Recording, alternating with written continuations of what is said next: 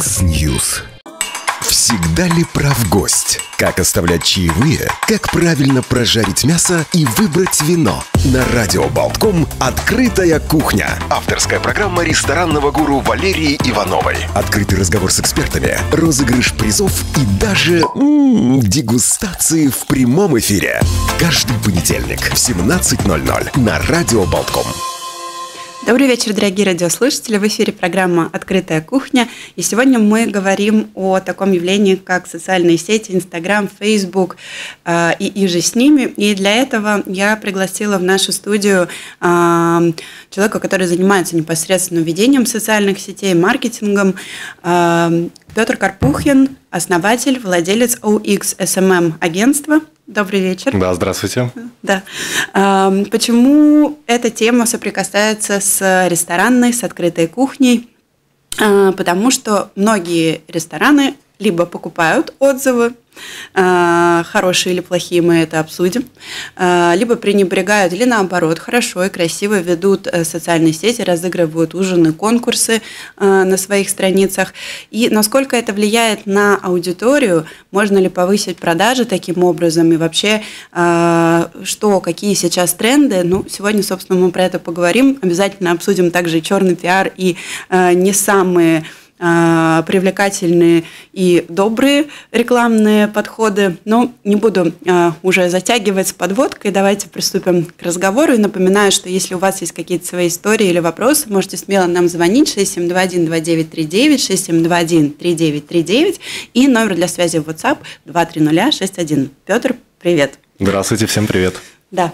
Ну, рассказывай, а как давно ты занимаешься таким модным бизнесом, SMM, SEO. Э, сколько лет, как вообще основал это агентство? Э, расскажи, пожалуйста, вкратце для наших радиослушателей. Ага, спасибо.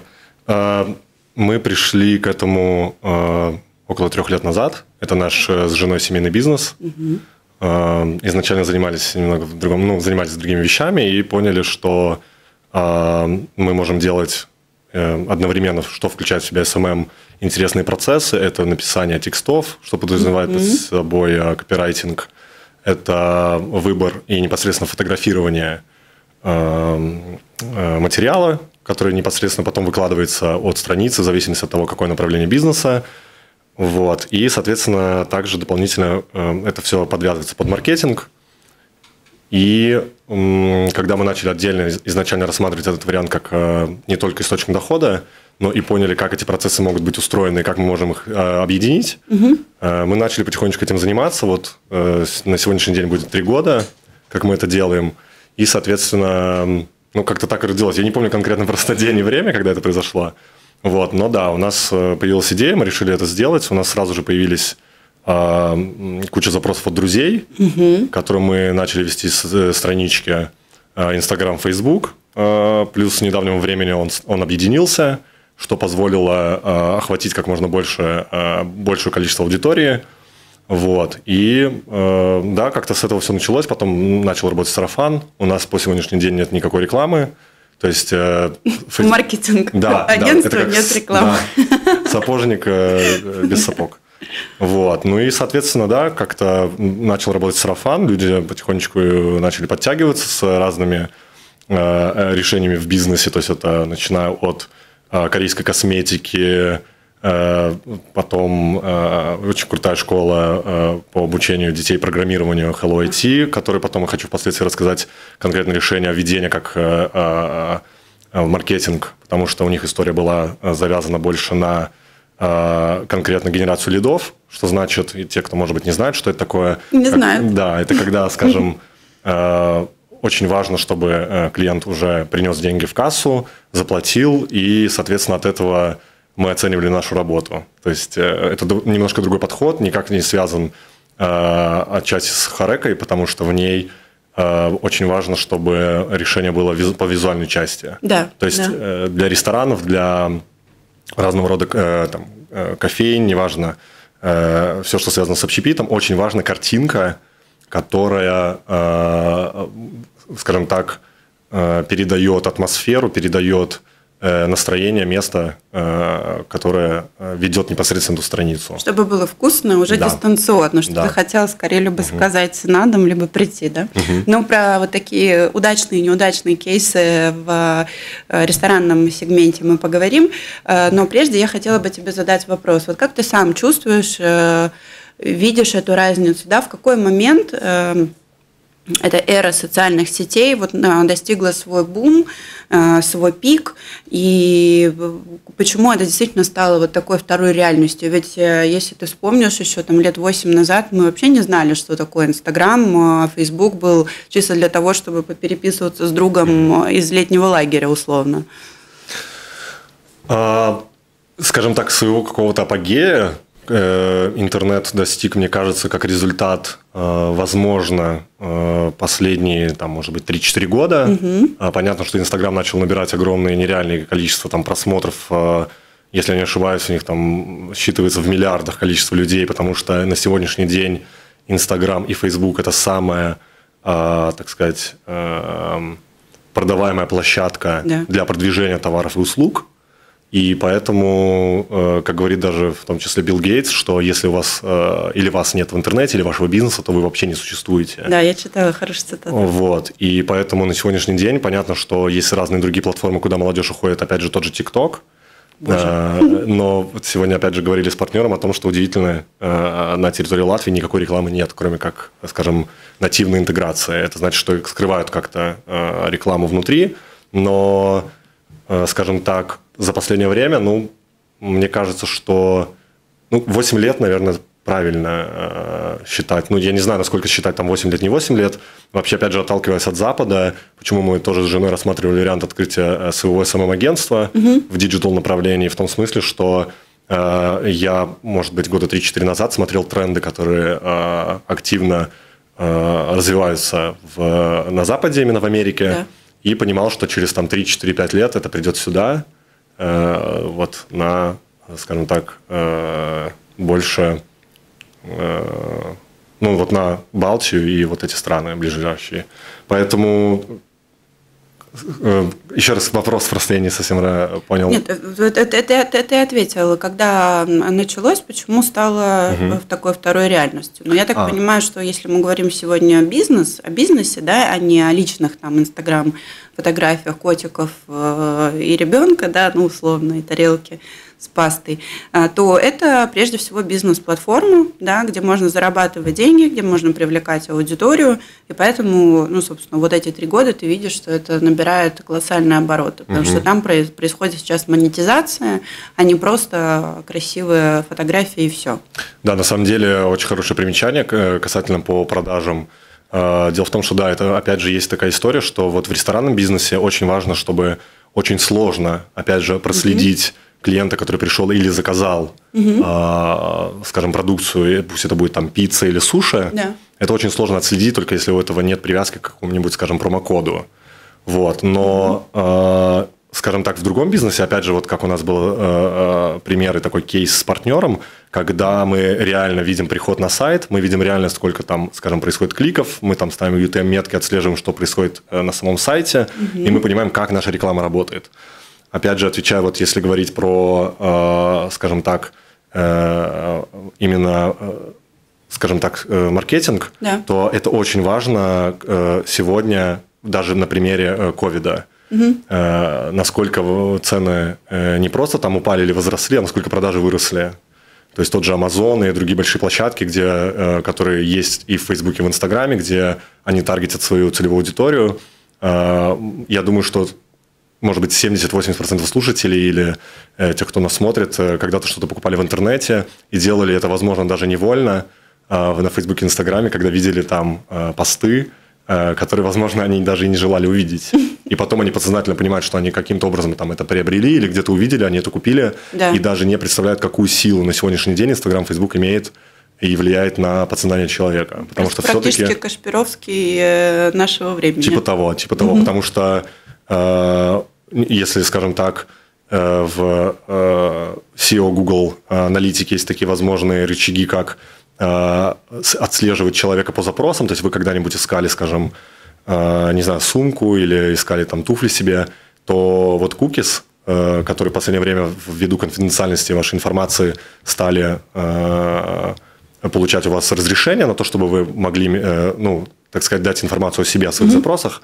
На сегодняшний день это стало настолько, опять же, вот как вторая реальность, когда я искал, не знаю, там корм для собаки, и на каком-то сайте, на другом, вообще даже не связанном с Фейсбуком, Инстаграмом, я вижу рекламу этого корма. То есть сегодня это работает так, и насколько там, мы даем э, добро, чтобы нас прослушивали и там, отслеживали, это уже зависит все от нас. Если читать регламент, там это все прописано, но, как правило, люди не заморачиваются, не смотрят, не читают э, правила, как это работает. Поэтому, да, на сегодняшний день это настолько развилось, что Э, понятно, что Facebook, Instagram – это самые э, активные, самые продвигаемые площадки, где э, вы необходимы присутствовать, вы необходимы заявлять о себе, о своем контенте, вы обязаны это делать, если у вас есть какой-либо род деятельности. Угу. Поэтому это очень важно. Угу. Спасибо тебе огромное за такой развернутый ответ. Я думаю, ну, для тех людей, которые дальше там далеки условно думают, что Инстаграм это просто для красивых фотографий, я говорю, кошечек или селфи, то это далеко не так. Э, и это непосредственно тоже связано с сегментом ресторанным, именно поэтому Петр сегодня у нас в гостях. И вот про это я хотела как раз дальше поговорить. Эм, я, как человек, да, вот из этой сферы, я всегда, прежде чем э, написать, например, отзыв, да, или дать какой-то фидбэк владельцу, если у меня заказывают аудит, я всегда смотрю соцсети. Я всегда смотрю контактная информация, правильно ли в Гугле в том же э, указано. Я всегда посмотрю отзывы. А, увижу, готов ли этот ресторан какой-то бюджет выделять на то, чтобы снимать сторис, да, как повар стоит, там, накладывает а, то или иное блюдо, варит какой-то соус, э, все это в, с там, замедленном, например, эффекте, да, с, с паром и так далее. Или действительно, как бы, вот хватает там вывески, да, и все на этом. И вот я хочу от тебя твое профессиональное мнение. Ты так вскоре сказал, что да, там важна картинка, но почему, как тебе, как специалисту, как владельцу этого бизнеса, кажется, что просто ресторанам необходимо выделять бюджет на то, чтобы вести грамотно, красиво и качественно Facebook и Instagram угу. рестораны? А, дело в том, что Опять же, вот ситуация с ковидом, когда все закрылись дома у себя, понятно, что компании по доставке еды и рестораны, у которых нет, скажем, доставки или контента в интернете, у которых mm-hmm. нет контрактов с э, компаниями по доставке, э, они в это время теряют просто свои деньги, потому что люди больше там какой-то период времени не ходят в рестораны. Понятно, что это необходимо хотя бы с этой точки зрения. Это первое. А второе, как мне кажется, по э, опыту, то, что я вижу – опять же, то, что вот как ты говоришь, для тебя важно, когда э, ты смотришь соцсети, ты читаешь там э, комментарии, ты смотришь отзывы и так далее. Э, дело в том, что, опять же, да, есть определенная часть людей, которым это не важно, они просто используют там Facebook, Instagram по другому, по другому назначению, хотя, mm-hmm. опять же, не до конца понимают, как на них влияет Facebook, Instagram. А, как бы любому, опять же, предприятию, любому ресторану необходимо там присутствовать, необходимо там быть, Э, для того, чтобы э, таким людям, которым это важно, могли получить для себя э, нового потенциального клиента. И опять же, мы не знаем, как, через кого он может прийти, да, через какую площадку, где он вышел, например, через Инстаграм в поисковике вбил там какой-нибудь хэштег по городу Рига или, возможно, использовал какие-то ключевые слова, да. как он мог, условно говоря, узнать об этом, то, конечно же, это очень важно. Просто, мне кажется, вообще на самом деле на сегодняшний день я, я очень надеюсь, что таких людей вообще почти не осталось, кто не сидит на Фейсбуке, Инстаграме. Вот, и мне кажется, что те, кто видит э, ту рекламу, которую они наблюдают в своей ленте, они должны примерно хотя бы э, представить, какое количество рекламы они видят за день, и как она может на них повлиять, даже если люди будут считать, что для них это, на них это не влияет. Угу. Поэтому э, здесь играет тот факт, что в ресторанном бизнесе, опять же, э, что необходимо ресторану иметь в интернете? А, ресторану необходимо иметь красивую картинку, ему необходимо э, не просто задавать вопросы э, потенциальным подписчикам или новым клиентам, потому mm-hmm. что подписчики это всегда равно клиент, это да. всегда 100%. Да. Плюс еще такая наша отдельная черта нашего подхода в бизнесе, то, что мы не работаем с посторонними программами, которые накручивают аудиторию, то есть есть такие специальные боты, которые да, да. А, генерируют, скажем так, подписчиков и так далее. То есть это наш наше с женой было решение, чтобы мы не работали с неживой аудиторией. Для нас очень важно отслеживать, э, сколько людей залайкало э, красивую фотографию э, не знаю, там, профитроли, например. Да. Как они сфотографированы. Для нас очень важно вот эту упаковку сделать, чтобы mm-hmm. это было реально вот э, по ощущениям, вам хотелось их попробовать. Поэтому, опять же, отвечая на вопрос, почему это необходимо ресторану, потому что, опять же, э, э не беря во внимание в очередной раз ситуацию с ковидом, даже если сегодня мы понимаем, что есть места, в которые мы ходим покушать, и они нам приелись, а человек настолько э, э, хочет попробовать что-то новое, и он не знает, куда уже ему сходить, особенно если это небольшие мегаполисы, то понятно, что вы можете его и на него повлиять тем, что вы даете ему увидеть вашу красивую фотографию mm-hmm. э, с красивым описанием, как приготавливалось э, данное блюдо, с каким трепетом повар э, поливал это соусом, или, скажем так, ну, то есть тут вариантов много, все зависит уже от того, какой подход и оформление этого текста. Да.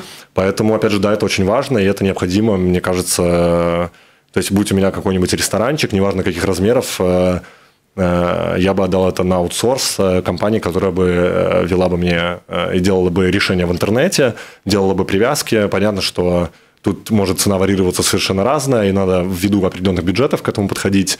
Но еще очень такой интересный момент, что есть, э, скажем так, некоторые э, рестораны в том числе и компании, которые думают, что они лучше всех знают, как это делать. О, да.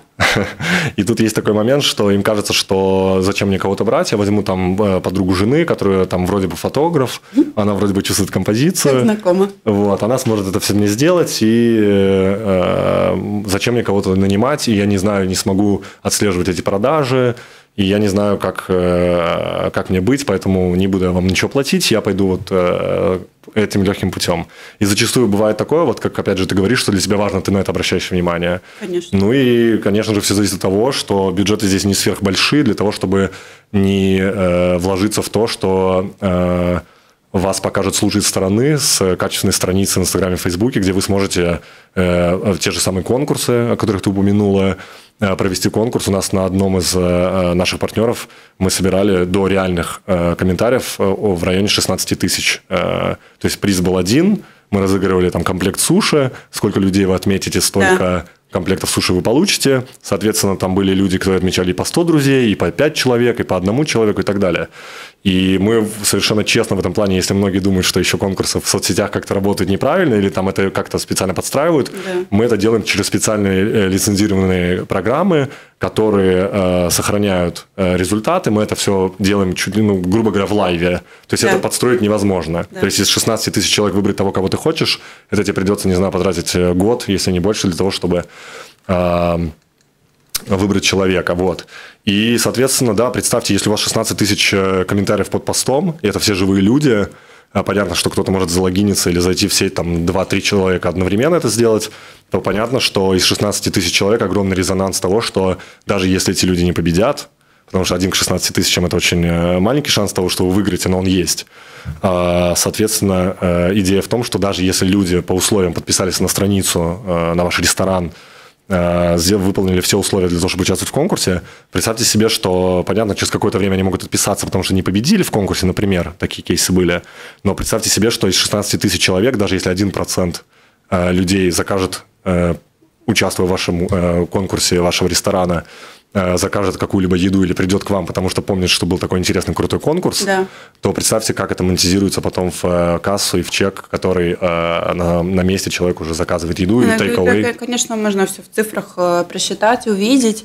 Вот, и я говорю, для меня, наоборот, дикость, что в наше время кто-то может этим пренебрегать, потому что это не стоит каких-то космических там а, денег да, в месяц. И почему это не использовать, тем более учитывая, что у вас бизнес, ну ваш, я имею в виду бизнес, угу. максимально прозрачный.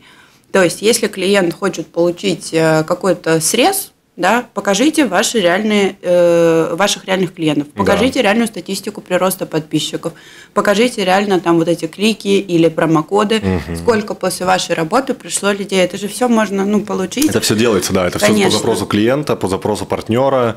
А, Э, мы даже больше не любим называть клиент, больше партнерские отношения делаем да. для того, чтобы в э, взаимо э, интересы совпадали. Угу. Вот, соответственно, да, все зависит от запроса, все зависит. Ну, мы стараемся, мы любим то, что мы делаем, несмотря на то, как бы редко это встречалось бы для людей, которые, возможно, не нашли еще себя мы делаем э, то, что мы любим, и поэтому, возможно, у нас на сегодняшний день э, э, есть прирост большой новых партнеров, с которыми мы работаем, и не, не, как бы, условно говоря, получаем удовольствие от того, что мы делаем, выкладываем, и все наши кейсы, все наши примеры мы показываем нашим mm-hmm. следующим потенциальным партнерам, и мы не стесняемся ни одного нашего клиента, и мы поэтому в этом плане стараемся, чтобы ресторан – с которым мы работаем, и не один, и несколько шефов, угу. в том числе, которые были в этой студии, да, которым да. мы тоже делаем идентику, делаем фирменный стиль. Для нас очень важно, чтобы у него был результат, потому что... Ну, конечно, это же ваше портфолио потом.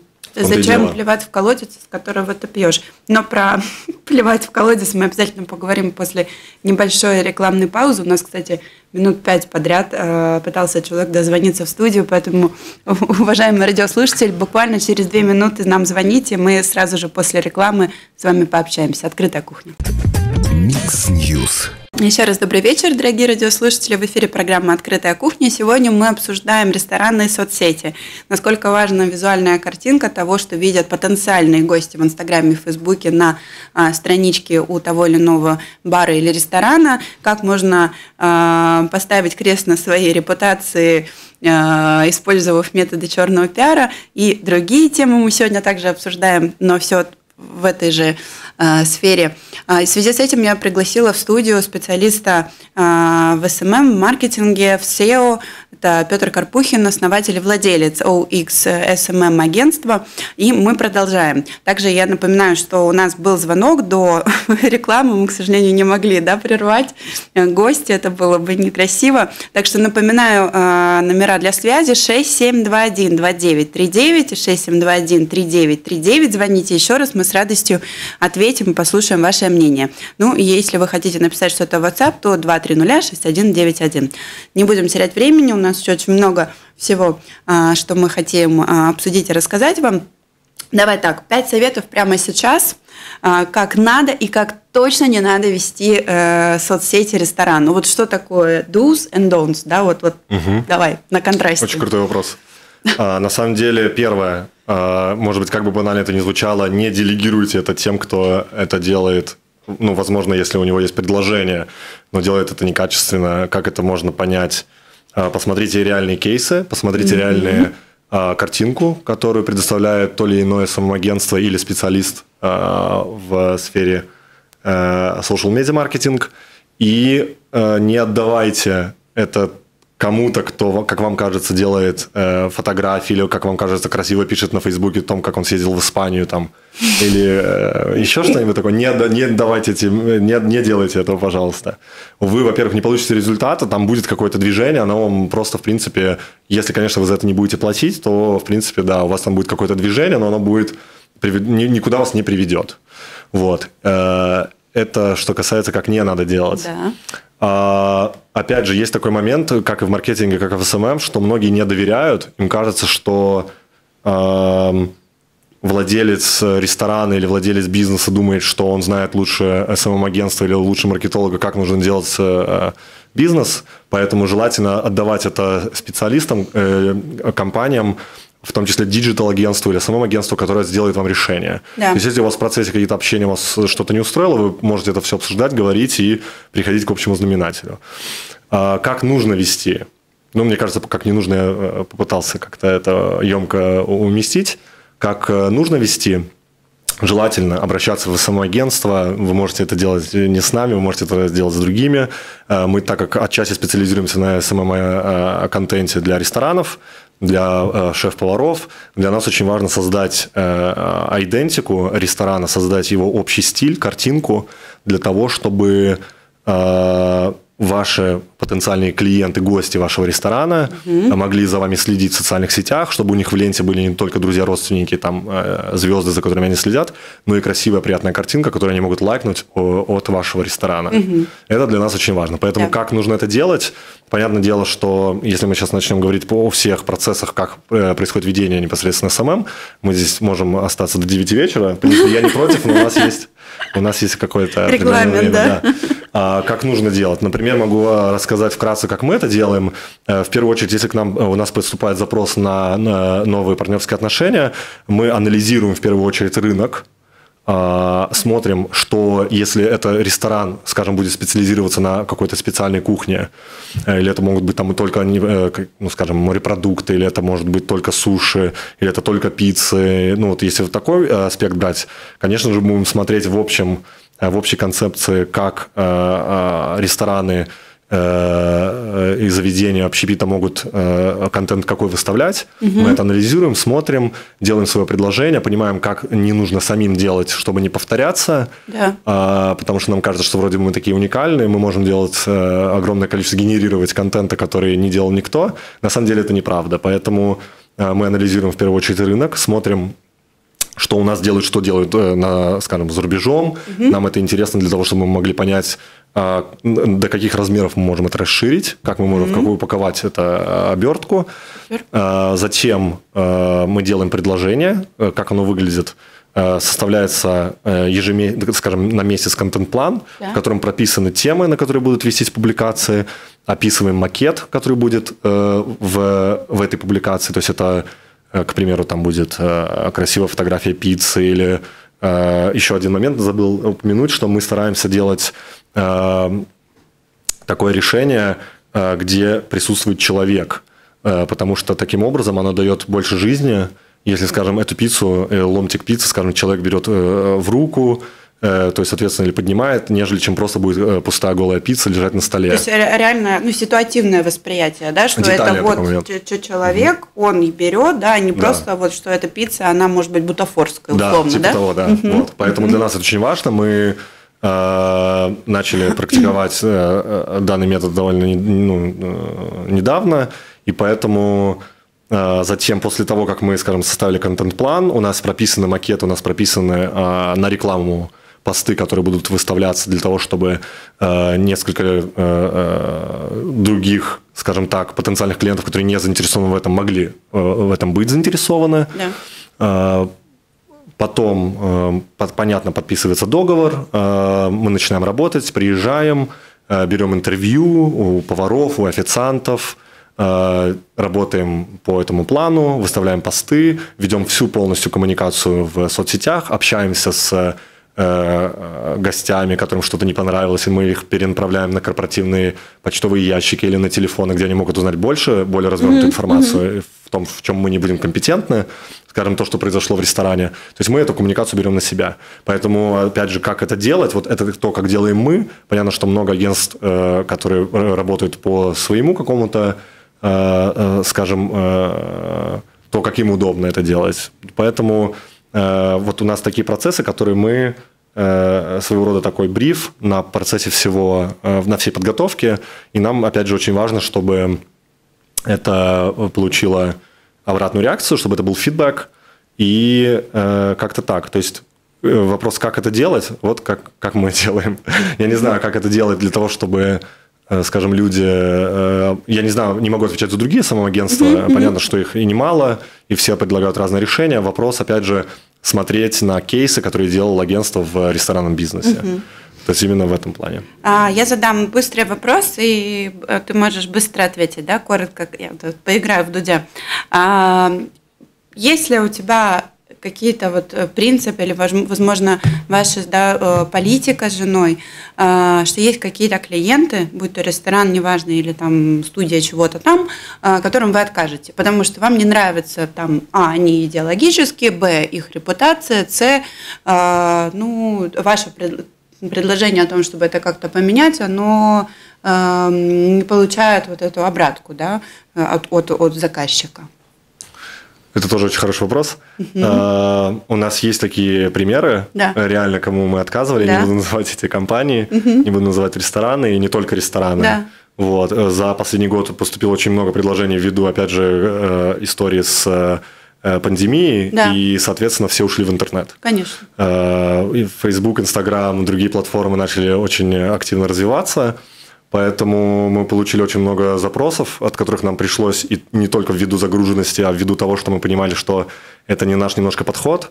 Э, то есть мы смотрим еще на тот момент, что очень важно чувствовать партнера, если ему, и мы понимаем, что мы движемся в правильном направлении, он доверяет тому видению, которое мы э, несем в соцсетях, то, соответственно, мы, скорее всего, будем сотрудничать. Угу. Если нам рассказывают, условно говоря, как нам нужно, какой брать ракурс и как нам нужно это делать, то, скорее всего, нам будет сложно понять друг друга. Это будет просто не взаимовыгодное, не взаимо, так, так скажем, интересное сотрудничество, которое не приведет ни нас, ни партнера угу. к э, нужному результату. Я хочу сказать, э, Петр, что это отличный показатель э, твоего, вашего успеха. Э, я буквально там неделю назад дала два отказа э, одним из своих клиентов – и там, поговорив с несколькими людьми, не приводя в пример, да, а, там, что вот конкретно этот случай, а просто сказав, что вот я отказала. А, мне сказали, что Лера – это показатель успеха. Того, что ты уже дорос до того уровня, да, что ты можешь сам выбирать, с кем тебе работать, чьи там, условно, в вашем э, случае э, бизнес развивать или не развивать, в моем кому там предоставлять персонал или не, не предоставлять. Ну как, да, пример. Вот, поэтому мне кажется, это очень круто, что у вас есть свои принципы. Я вот за такой подход к делу. Конечно, он формируется не сразу, а там когда ты уже как раз мы, мы ровесники по, по бизнесу, uh-huh, да, uh-huh. мне тоже будет скоро три года. Вот, э, так что э, жму, жму руку. А, не так много времени у нас остается, еще есть как минимум две темы, которые мы должны точно сегодня а, осветить. Э, значит, давай объединим. А, есть помимо Facebook и Instagram такие платформы, как Google и TripAdvisor, где гости могут оставлять свои отзывы, как хорошие, так и плохие, ставить оценки. Отслеживаете ли вы своим агентством да, вот эти отзывы, и отвечаете ли вы, и как правильно отвечать на там, какую-то жалобу, или и можете ли вы уже, исходя из своего опыта, определить, это заказуха или нет, угу. что тоже важно. А, спасибо. Так, это спасибо по поводу комплиментов насчет того, что а, мы спасибо. работаем честно и отказываем, да. Да. А, да, и на, на самом деле история интересная, потому что на сегодняшний день вообще э, очень сложно понять, почувствовать, как э, было написано то или иное сообщение, да. то есть в каком ключе оно было, как, э, как его человек, когда писал, что он имел э, в виду, хотел ли он оскорбить или не хотел, это сегодня очень э, такая большая тема и очень сложно э, проследить. То есть... Э, Э, TripAdvisor на сегодняшний день работает, э, если я не ошибаюсь, уже подошел 21 год, то есть 20 э, лет организации, которая самая популярная в сфере путешествий. Угу. И, соответственно, на сегодняшний день она заявила о себе, и она стоит безумных денег. Насчет, как бы, скажем, я сам пользовался и TripAdvisor, и другими платформами, которые, скажем так, давали не могу сказать, насколько точные э, рекомендации. Мне кажется, это все зависит от личного опыта и насколько нужно прислушиваться к комментариям, к отзывам на том или ином э, э, сайте. Мне сложно сказать, мне сложно судить, все зависит от вашего опыта, потому что, понятно, человек может прийти, подумает, что вот у него сейчас будет здесь крутой сервис, он может, у него ожидания будут превышать то, что он получит в реальности – и он может потом быть разочарованным и может написать какой-то плохой отзыв. И, соответственно, я не знаю просто, насколько это а, правильно, но, безусловно, мы отвечаем, мы ведем общение, отвечаем на э, любой отзыв. Мы пишем о том, что а, просим вас более дополнительную информацию прислать в отдел а, маркетинга, мы рассмотрим этот вариант. Если там что-то произошло не так, мы обязательно в этом разберемся. А, тут еще понимаешь, в чем э, есть такая фишка, что есть многие рестораны или, скажем, э, э, э, предприятия, у которых нет решения в маркетинге. И бывает зачастую, опять же, отвечая на вопрос, как не нужно делать, если у вас нет решения в маркетинге, обязательно задумайтесь об этом, потому что любой, скажем так, среднестатистический маркетолог, который ценит и любит свою работу, он понимает, что сегодня нужно быть в интернете, и он сделает все для того, чтобы вы там были. Вопрос как, это уже второй. Насколько это будет качественно или какой контент у вас будет публиковаться, mm-hmm. это зависит от того, а, какие кейсы вы рассматриваете в своем агентстве, подходят они вам или нет, но много исходит от а, маркетинга. Mm-hmm. Вот. SMM-агентство, в том числе мы для многих агентств предоставляем это решение для того, чтобы направить правильно, если тот или иной бизнес или ресторан не понимает, как ему двигаться, как ему взять tone of voice в интернете. Поэтому Э, мы отвечаем, но зачастую бывает так, что мы перенаправляем такие дела э, в отдел маркетинга непосредственно уже сам ресторан. Так как мы э, компания SMM, digital агентство, тут идет речь о том, что, безусловно, мы отвечаем, у нас есть регламент, Э, поэтому здесь уже вопрос, как дальше ресторан разбирается с этим. Угу. Это первый момент. Второй момент с тем, что э, покупные или непокупные отзывы. Сто процентов вам скажу честно, что все отзывы покупаются.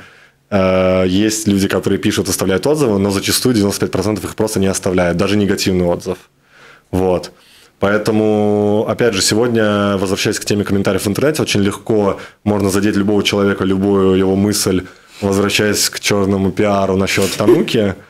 А, да, да, да, про Тануки мы сейчас а, поговорим. А, но я вот просто почему хотела спросить, да, остановимся на этом моменте и перейдем тогда к черному пиару и провалу года. Покупные отзывы. Я знаю, что у TripAdvisor есть такая политика, что они каким-то там образом могут вычислить, отзыв был проплачен или нет. И что они делают? Они могут оштрафовать ресторан на, например, 30% хороших отзывов. И, соответственно, что это значит для ресторана? Они упадают, падают в рейтинге, когда э, ты заходишь в приложение, ты уже не видишь его в топ, например, 3 или 5 лучших ресторанов Риги или рыбных ресторанов Риги. Э, вот как, как, как отследить, что отзыв был покупной? А, дело в том, что как работает TripAdvisor. На самом деле платформа очень крутая в том смысле, что она позволяет детализированную информацию получить о месте, скажем, там, а, сколько звезд, какое качество еды и так да. далее. То есть отзывы, которые оставляют люди, скажем, если это не покупные отзывы, а, какой бонус э, дает TripAdvisor для ресторана? Э, чем больше информации вы располагаете, опять же, как и в социальных сетях своих э, Э, на своих страничках, тем больше о вас можно сказать. Для ресторана, для бизнеса это очень важно. Поэтому как платформа, где вы э, рекламируетесь, э, в том числе рекламируетесь, потому что по запросам там также можно проплачивать, чтобы, скажем, не знаю, иностранец приехал, хочет поесть определенное направление кухни, ищет какой-то ресторан, пусть это будет рыбный ресторан, то, что в том числе результаты, которые он увидит, это тоже в том числе можно как бы покупать. Угу. Вот. Понятно, что TripAdvisor может э, отслеживать это все, отследить это очень тяжело на самом деле, потому что э, попросить как э, методика, скажем, э, купите у меня, э, не знаю, вот у нас недавно партнер э, запускает алкогольное мороженое, недавно был на фестивале в Легенде на Фудфесте, и вот он, например, чтобы развить больше, скажем, э, сделать оборот на своих страницах, предлагал за дополнительный шарик, в том числе у него есть и безалкогольное мороженое, просто он решил так зайти, что э, если вы как бы напишите о нас отзыв, то мы вам дадим дополнительный шарик. Поэтому mm-hmm. вопрос здесь задаться вопросом именно если глубоко на это смотреть, покупной ли он или нет. Это интересная такая понятно, штука, да. Понятно. Поэтому я не могу сказать, как это делают как бы рестораны с средним чеком, там, не знаю, 150-200 евро. Да. Это другая история. Конечно же, они хотят, э, если такие чеки они делают, они хотят, чтобы э, о их ресторане было как можно больше и можно круче было написано. Никто не застрахован от как бы негативных комментариев, но честно скажу, что э, практика плохих или негативных комментариев, она тоже должна быть. В каком процентном соотношении мне сложно сказать, это нужно высчитывать для того, чтобы понять, выгодно это или нет, но на любой хороший должен быть в среднем соотношение 50 на 50, э, ну не негативный, но, возможно, отзыв, конструктивный отзыв, который позволяет оценить, что я не, ну, вряд ли я попаду сейчас в рай. Да, да и, и, и тоже это, мне кажется, хорошо работает, что, например, там год назад был какой-то фидбэк не самый лучший, а, детально было написано, что там, да, за косяк, э, то есть э, блюдо холодное или там, туалет был не угу. очень, еще что-то, и ты сразу видишь, как э, ресторан там ответил. Тоже вот для меня, как для пользователя, как для потенциального гостя, это важно, потому что когда я вижу, что ни на хорошее, ни на плохое отвечает, тоже сразу делаю выводы, что а, Извини, да, на плохое отвечайте, это нужно делать. Никогда не удаляйте это, не да, игнорируйте. Всегда нужно отвечать на... Бывает У вас даже не может так. быть идеального ресторана. Да, бывает даже виду... так, что... Извини, да, перебью тебя.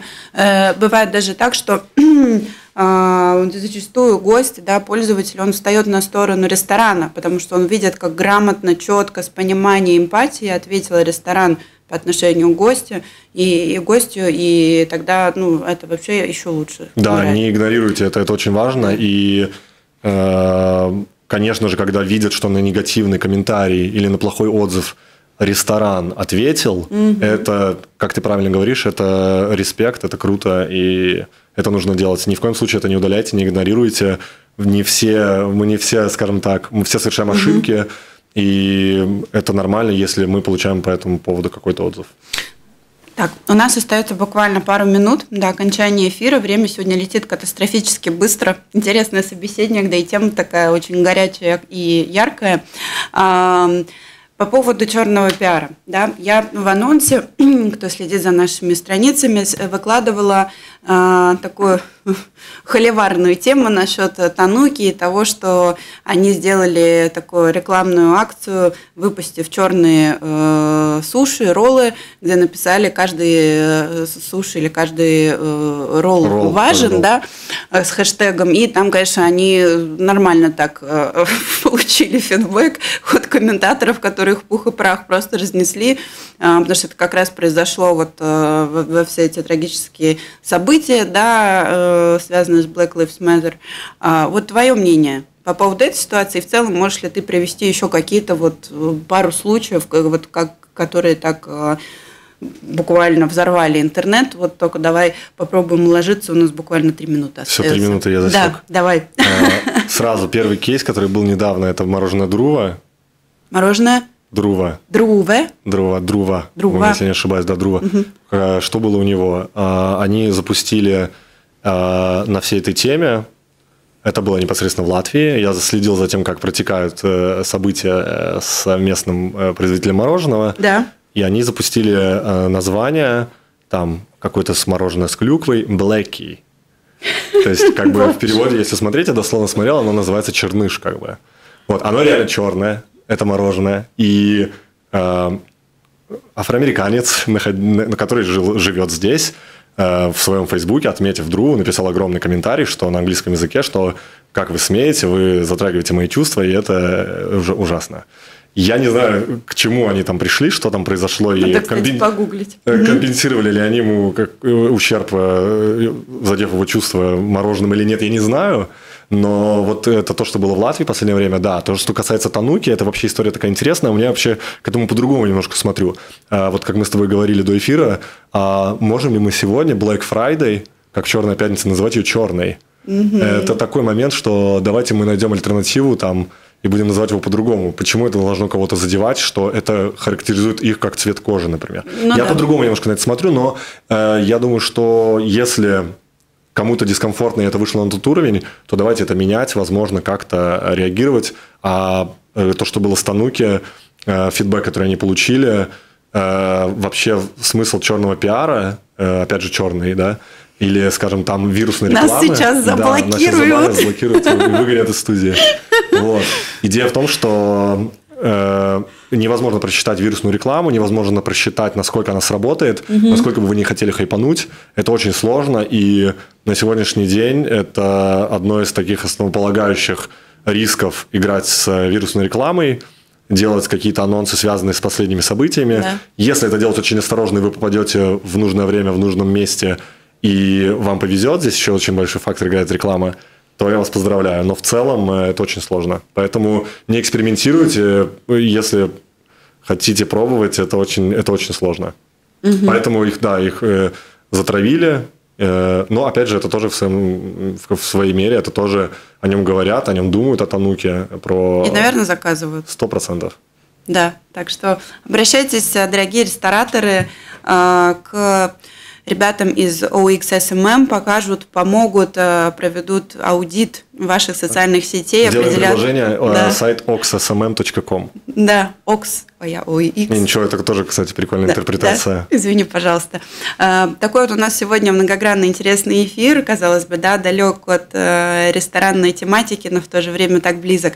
А, Петр Карпухин сегодня был в роли нашего гостя и специалиста. Спасибо большое за эфир, Спасибо безумно вам. интересно. Родион Золотарев, звукорежиссер, я Валерия Иванова. До встречи в следующий понедельник. Пока.